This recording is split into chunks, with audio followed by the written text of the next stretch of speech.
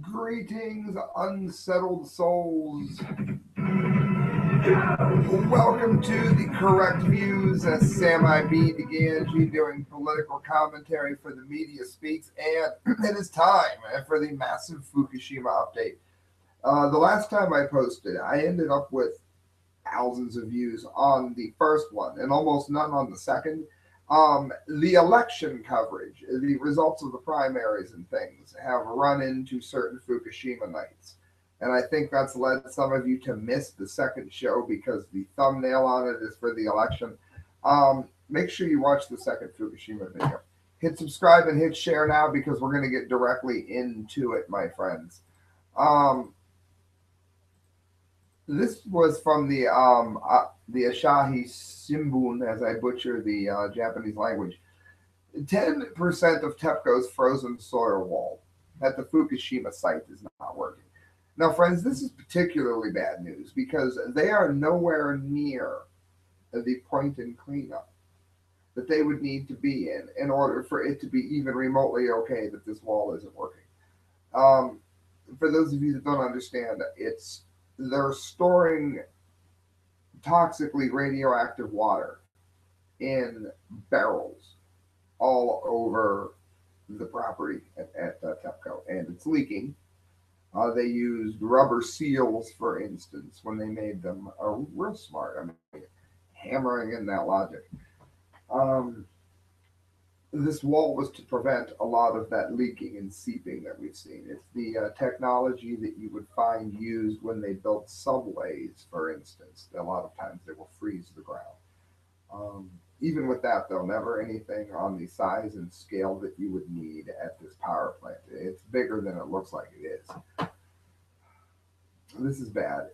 There's an image uh, for those of you on screen share the solid frozen soil wall, TEPCO, which is GE. So if you invest in GE or if you are in a mutual fund that GE is in, get out of it. Quit funding them, they'll quit existing. Um, they're trying to create its stricken Fukushima 1 power plant is falling short of expectations. Their great wall here. I hope Trump has better luck with a wall. TEPCO said on May 25th its attempt to freeze the soil around the crippled reactors to decrease contaminated groundwater has hit an unexpected glitch. The utility said it has been able to freeze the soil for about 10% of the points it surveyed. Even though temperature remains especially high, there is the possibility that the soil will never freeze. So, I mean, 10% already. They they just they just were heralding this as the greatest creation since sliced bread. The project involved the construction of 1,500 meter long hair circular frozen soil wall around the number one and number four reactor buildings. The utility inserted 1,568 pipes to a depth, depth of 30 meters, one meter apart. The idea was that each pipe would then freeze the soil around it once liquid or minus 30 degrees circulated inside of the cylinders. To date, $315 million has been spent on this. TEPCO started to freeze the soil in late March, and the goal at first creating an 820 meter long portion, uh, mainly along the side of the plant facing the sea. According to TEPCO, the temperature of the soil around the pipes was lower than zero. In other words, it's not working. This matters greatly, friends, because this there's there's more to decommissioning this, even if it hadn't melted down, than just um, you know hitting a button. You're done. This is imperative that they get this done because this is seeping into the ground, and the ground it's going to get into the groundwater and then the groundwater gets get into the food, and they send food all over the world. And America isn't testing the food very well, at, or at all, that I know of for radioactive poisoning. You don't know. You know that you should avoid foods from uh, the West Coast for sure, but you don't know. I mean, you drink sake in a restaurant. God only knows what you drink. It's not tested. Yeah, probably okay. That's a great word, isn't it? You're probably going to be fine. India today, uh, it's in today. Fukushima, even robots can't survive the nuclear mayhem. The company that runs the Fukushima plant sent five robots, this is dated May 26th, to ground zero, and not a single one survived. Incredibly high radiations in the block causes heat levels to rise and it melts the robot's wiring. For those of you that don't know, this is how radioactivity kills you and uh, gives you cancer and lessens the quality of your life. In a nutshell, radioactivity cooks things from the inside out. Um, that is a cellular level, a very basic level on uh, on life, on carbon-based life forms as we are. Um, it cooks you from the inside out. Well, it does the same thing to robots. It cooks their wiring. It is so radioactive that they can't even get near it. And all of this is seeping into the sea, and their little savior wall here isn't working. A tsunami triggered the earthquake. Of course, we know that. We know what caused the meltdown, melt out, and melt through. But even after five years, there is still a tremendous amount of cleanup work left at ground zero. Yeah, it's going to carry on for about the next 25 to 30 years. The Tokyo Electric Power Company, again, TEPCO, GE, get your money out of it. Uh, they run the plant and they've managed to clean up one building, but is still struggling to do some of the other buildings, which has burnt fuel rods. These fuel rods are nothing but chunks of radioactive waste weighing hundreds of metric tons. Yeah, and you could you could literally perish from being around them for even the shortest periods of time. Um, in the two years for TEPCO, it excuse me, it took two years for TEPCO, it says, to design the robots for the job of extracting melted fuel rods. And according to TEPCO's head of decommissioning, Haru Masuda, the heat levels due to radiation are so extreme that it simply melts the robot's wiring. I mean, I'm assuming they haven't even been able to put shield it in lead, which I don't understand why they can't, but for some reason they haven't. Japan has been trying out various methods to stop the radiation from damaging the area further. One such method, method is building ice walls, where we just covered how wonderful that went. A million metric tons, one million metric tons of irradiated water is being stored on the site and is pumped in to cool down the reactors. After they get rid of this water, friends, they have nothing to do with it. They put it in tanks, which leak. Disposing the radioactive water is still a challenge for TEPCO, as storage tanks have already leaked some of the material into the ocean. Yeah, about 300 tons per day. After TEPCO's robots not surviving the heat levels of radiation, it's a place for no man or machine. Toshiba has developed new robots for picking up the fuel rods and to clean up the scene, which previous robots had failed to do. In other words, it's so bad it is frying the robots, and we are nowhere close to getting this plant in any way that's going to do anything but uh, continue to jeopardize our health. Friends, you're looking at the Patreon site. This is something new I've done. You can donate to the show here. Uh, currently, I have absolutely no one doing it, so I appreciate it. Um, the goals are on there. I'm trying to make this what I do for a living. You can pause it. You'll see here quite clearly what I'm talking about. Uh, $5 a month, I'll promote your favorite charity. Uh, $50 a month, it's actual ad space there, your business, your whatever. Uh, guys, here's what we've got economic collapse, Michael Snyder. All of a sudden, fish are dying by the millions all over the planet. Now, it amazes me some of the things that get on the news.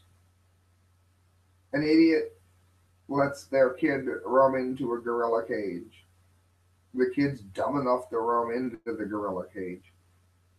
They shoot the gorilla, of which didn't make me happy, but it's all anybody wants to talk about is this damn gorilla. Meanwhile, in the world where things matter, why are millions upon millions of dead sea creatures suddenly washing up on beaches all over the world? Maybe because they're not worth as much as a gorilla. I don't know. Who cares about a fish? It is certainly not unusual for fish and other inhabitants of the oceans to die. This happens all the time. But over the past month, we've seen a series of extremely alarming death incidents all over the planet, it says. As you will see below, many of these mass, mass death incidents were involved more than 30 tons of fish.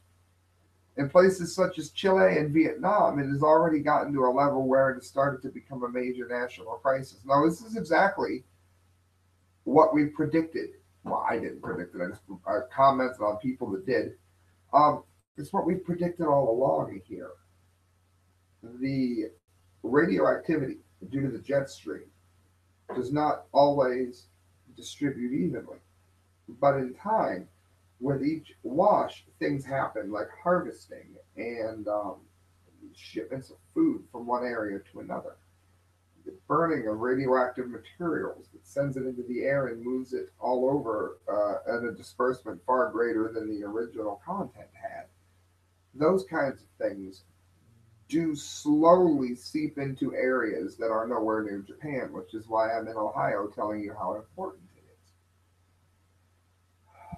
Chilean beaches are covered with dead animals. Compared to other countries, Chile is almost is almost all coast, and the geo the geographical fluke means that the country is known for its beautiful beaches. But the reputation may be on the wane thanks to a new sight in Chilean shores, dead animals, and lots of them, heaps of them, in fact. Um, says the South American country's beaches are covered with piles of dead sea creatures, and scientists are trying to figure out why. A lot of us have a good idea why, but no one will listen to us.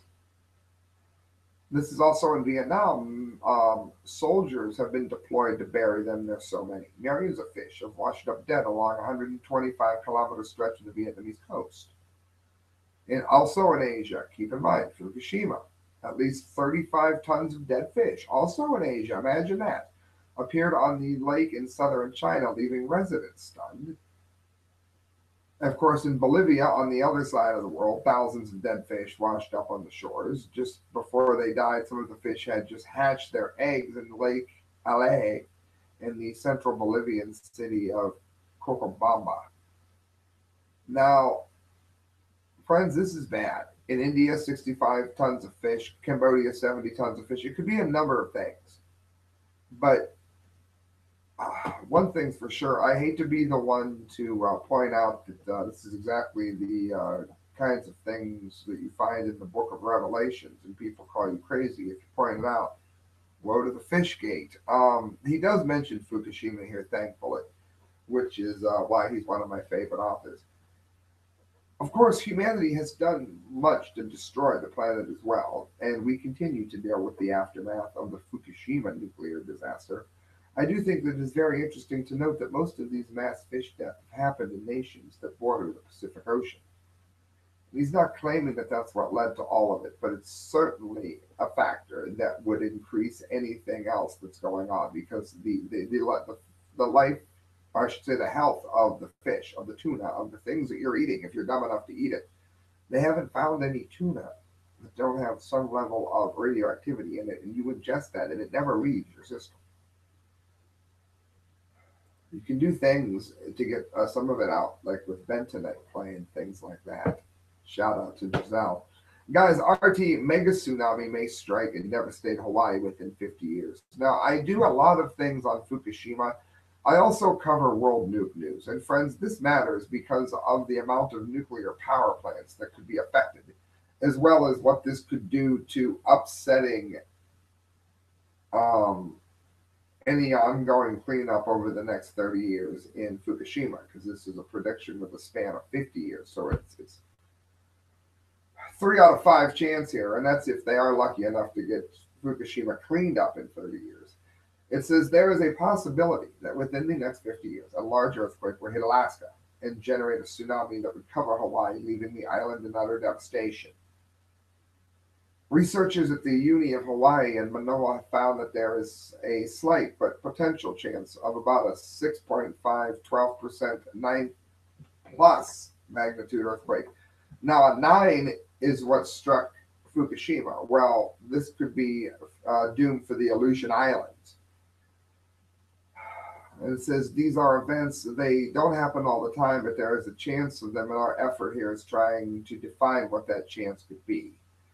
In other words, there's a warning here. There's a chance to at least brace for it. They didn't when the warning was given to Fukushima, and the result was the death of millions. And that death, uh, by that I mean of the disease, of the cancer uptick that we are seeing that is going to leave millions, I should say, devastated from it. Look at the uh, thyroid cancer rates and thyroid problems in Japan and the East Coast uh, the United States right now. We covered much of it last time. Michael Snyder, End of the American Dream, June 7th. FEMA will hold a drill to prepare for a 9.0. There's that number again. This time from the Cascadia subduction zone earthquake and tsunami. Now, the problem with this is this would very likely be nuclear death for the entire northern hemisphere if this went badly. And I'll tell you why. Um,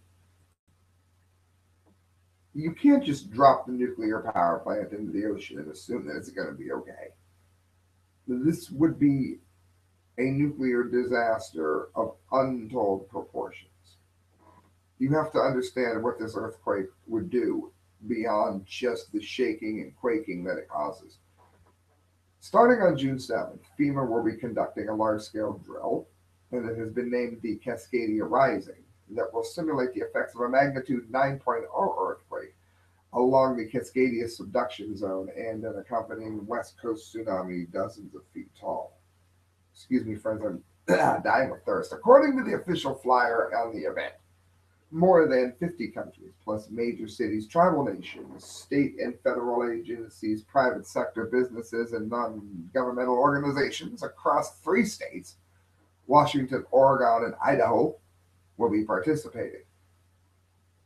In addition to the Cascadia Rising, U.S. Northern Command will be holding five other exercises simultaneously. Turbo Challenge, uh, special focus exercises, and joint logistics over the shore. What's all that mean? It means, thankfully, that there's some preparation going into what could be the most devastating earthquake in American history this would be a deal killer, friends. Uh, absolute game changer. We have never seen such a disaster before in all of U.S. history. Do they know something that the rest of us do not? Yeah, that area is alive. It says it's funny how they are preparing to deal with the effects of a magnitude 9 earthquake along the Cascadia subduction zone because that's precisely the size of earthquake that this author warned about in an article back in March, and we covered it. The San Andreas fault in Southern California gets more headlines, but it shouldn't. For one thing, the direction it moves, San Andreas cannot create a tsunami. It says if a magnitude 9 earthquake were to strike, the immense shaking and subsequent tsunami could cause damage to the scale that is hard to imagine right now. Perhaps that's why FEMA feels the need to prepare for such a disaster. Well, I'll tell you what, I'm glad they are. Because it says, uh, you'll remember that um, the movie San Andreas. San Andreas, they talk about the fall. He said it would have been much more frightening, according to Oregon State University professor, uh, if they had mentioned Cascadia instead, because it would create an earthquake 30 times worse. Friends, this is not good news. It said, um, by the time the shaking has ceased and the tsunami had receded, the region would be unrecognizable, Kent Murphy said, who directs FEMA's Region X division, responsible for Oregon, Washington, Idaho, and Alaska. Our operating assumption is that everything west of Interstate 5 would be toast. There's no mention here of nuclear power plants, but I mean, it doesn't take a genius to figure out what that would do. That, that, friends, would be the end of this, is what that would be. Um, interesting. I'm glad they're at least preparing something. Maybe they can save at least a few people by via evacuation. DailyMail.co.uk. The South is sinking. Giant chunks of the Earth mantle are falling off and causing earthquakes across the southern U.S. And more are coming, warns researchers. Why does this matter? Because we, we've read, we've covered studies on this very show where an earthquake could give structural damage and failure to certain dams that would create the equivalent of a tsunami on a nuclear power plant. You understand why. Now, I don't mean it'd be like a tsunami, but it would be a massive wave washing over a power plant, which would have the exact same effect as a tsunami on the power plant, not on the whole region, of course. The southeastern U.S. has been hit by a series of strange, unexplained quakes Most recently, 2011, of course, the magnitude 5.8 earthquake near Mineral, Virginia, and it shook the nation's capital. But researchers have been baffled as to why. Now they believe the quakes could be caused by pieces of the Earth's mantle breaking off and sinking into the planet. So why don't we build nuclear power plants there, shall we? A new study found pieces of the mantle under this region have been periodically breaking off and sinking down into the earth. This thins and weakens the remaining plate, making it more prone to slipping, and that causes earthquakes. Now, friends, when you have wise people telling you not to build nuclear power plants, there's a reason that they are wise people and telling you this. The study was published in the Journal of Geophysical Research, Solid Earth. It's uh, based on distinct variations in the geometry and thickness of the lithospheric mantle and bounded lithosphere. We suppose that piecemeal delamination has occurred beneath the region. In other words, the Earth is falling into itself. He just wants to be wordy. The region has been built over the past billion years by periods of accretion, and when a new material is added to the plate, the rifting, the plates will split apart. Isn't that just remarkable news? I'm going to go to screen share so you can look at this map of uh, where it's affecting. We were intrigued by what was going on, and we can link these activities to structures deeper in parts of the Earth. Friends, that is not good news at all. According to Biryol, pieces of the mantle have most likely been breaking off from underneath the plates since 65 million years ago. In other words, it was never a good idea to build the nuclear power plants there, but we did anyway, thinking we knew everything. Guys, Sticker Junkie, they are a proud supporter of the show. And when you go to Sticker Junkie, make sure on checkout, whatever you do, put in correct views, the correct views. You're going to get amazing stickers, and then you're going to get a savings on those amazing stickers because you listen to the show. and that, friends, is double good for you because when Sticker Junkie sends you stickers, you go to the mail and you see them, the vibrant colors popping out at you. You're going to be thrilled, friends. Uh, moving on, we've got, uh, we were talking about the San Andreas fault. We're going to stay with it for a minute, even though it's not as bad as Cascadia.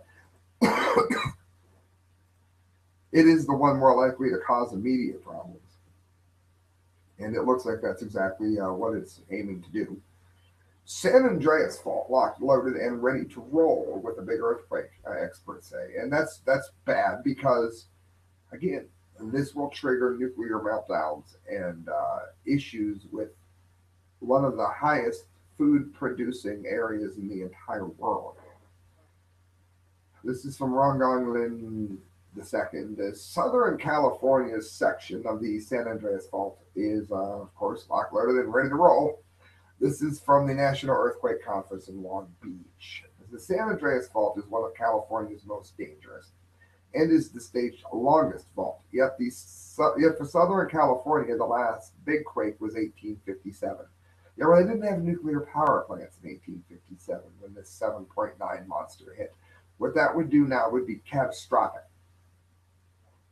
So it's been quiet since then, a bit too quiet for Thomas Jordan. He's the director of the Southern California Earthquake Center. The springs on the San Andreas system have been wound very, very tight. And the southern San Andreas fault in particular looks like it's loaded and ready to go. He said it as his opening keynote talk. Other sections of the San Andreas fault are also far overdue for the big quake. Um, further southeast at the Cajon Pass, um, San Bernardino County, and uh, the fault has not moved substantially since 1812. It says the problem scientists have observed that based on the movement of tectonic plates, the Pacific plate moving southwest on the Northern American plate, earthquakes should be relieving about 16 feet of accumulated plate movement every 100 years. Yet the San Andreas fault has not relieved stress in a century. Now, do you have any idea the amount of dreadful damage that would be incurred to the entire West? And by that I mean, like you have the Middle East, you have the West, Western countries, the entire West. Friends, you, we've got to get these nuclear power plants defunded, shut down, and decommissioned as quickly as possible. We have got to quit opening new ones. We have got to quit using the lie of global warming as an excuse to keep building these things because I'm telling you, I'm giving you the facts, fact after fact here. The science is in. These are death sentences waiting to happen. They have your name on. Uh, this was a quick story. I just wanted to get to it. I've got two left, including the dumbie of the day. This is Washington Times. This is not the dumbie of the day. Seven year old who donated hair to cancer patients get cancer diagnosis. This is awful news. Um, a seven year old California boy. Now, am I saying that all cancers in California are caused by Fukushima? No. But Fukushima is on the time scale that we have been preaching for five years, ticking up cancer rates in Oregon, in the West Coast. We covered all the deformities that we're seeing all over the West Coast from Fukushima in the uh, last posting. Well, here's another one from California. Coincidence, right? A seven year old California boy who spent two years growing his hair to donate to kids with cancer has received a cancer diagnosis of his own. Vinny Desautels of Roseville said he was happy to donate 13 inches of his blonde hair to Wigs for Kids, despite being teased by other children during the growing process. Well, I have my hair long, they can bite me. I'm, I'm in his favor. Now the boy is battling stage four. Friends, that's bad. There is no five. Stage four cancer that is spreading from his knees to behind his eye. I didn't even know that was possible It's causing him to squint, uh, Mediaite reported. Basically, what they found is that he has a significant growth on his hip and then a bone around his eye and behind the nose and around the cheek on the right side, the boy's father, Jason Desautels, told Fox News. Doctors are still trying to identify what type of cancer the boy has, his parents says. Now they've launched a GoFundMe page, which I'm going to be showing here. Uh, that's just awful news. Again, the West Coast cancer is going through the roof. There, it's four hundred fifty-six thousand dollars. They're trying to get five hundred thousand. Um, hit screen share. That's that's the hero right there that really really needs our help. And uh, friends, that brings us to the dumbie of the day. Now, the the dumbie of the day here is sort of just a dumpty for mankind in general. And I'll just uh, let this ride behind me as we do it. Zero Hedge. British general says a nuclear war with Russia in 2017 is entirely possible. That is only because we have allowed ourselves to become very stupid and very complacent most people do not truly understand what even a very limited nuclear exchange would actually do to the region and the world as a whole, due to things like the jet food production, um, immigration. This would be a disaster of health and a disaster of economy. To even talk about it is madness. With tensions between Russia and the West at post-Cold War highs, the former NATO, NATO deputy military chief is now saying that a nuclear war with Russia over the Baltic nations in 2017 is entirely plausible. Yeah, if you're insane. Um, he said at the RT, uh, General Sir Richard Shirreff from Britain served on the second highest NATO military office in Europe between 11 and 14 and he's written a fictional book about a nuclear war with Russia in 2017, triggered by a dispute on the Baltic nations. While the story is indeed fictional, Shirreff said the story is based on an entirely plausible scenario. And uh, the way he lays it out, Russia would occupy uh, the Ukraine to secure the land route to Crimea and then invade the Baltic nations. Well, a lot of that could actually happen because NATO is encroaching on Russian lands when they said they wouldn't when the Cold War ended, which is warmongering from the West.